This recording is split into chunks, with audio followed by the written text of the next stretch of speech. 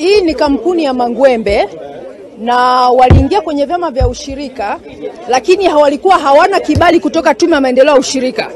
Walichofanya wao wakaingia kwenye, kwenye, kwenye, wakaingia kwenye chama cha ushirika wakauza nyumba ya bwana Kalisti.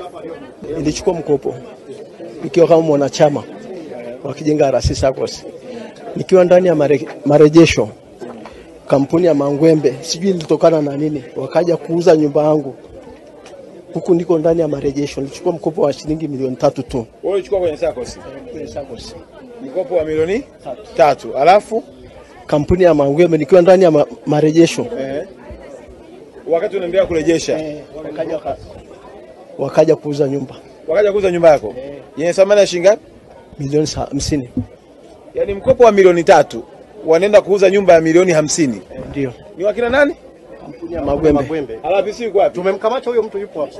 Kamata atia ndani, au na huo muda awe ni mene, yoyote anayehusika, kamata tia ndani, wala hata inihusu mimi. Haya, eh, unaweza ukasema ni kivumbi na jasho na kazi inaendelea.